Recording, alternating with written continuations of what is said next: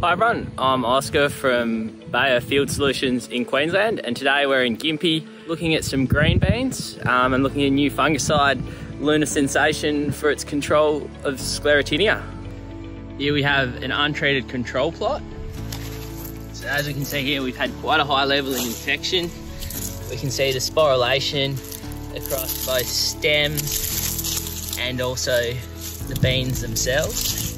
If we look really closely, we can also see some sclerotes forming on the stems themselves. Comparing this to the rest of the trial site, which was treated with 800 millilitres to the hectare of Luna Sensation, so an SDHI and a strobilurin, uh, we can see a large difference in control. Obviously looking at all the treated area, we see very little to no sclerotinia whatsoever. And then looking at untreated patches, we see a very high level of infection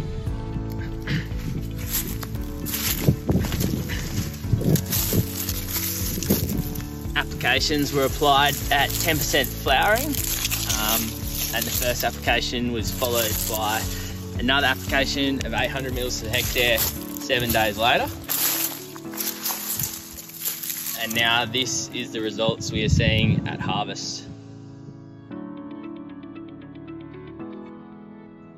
So you can see untreated control, extremely affected and infected by the disease,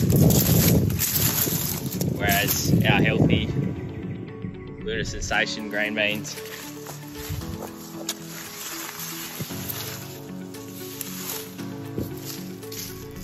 This is just to demonstrate on the right hand side we have a plot heavily affected with sclerotinia as an untreated control.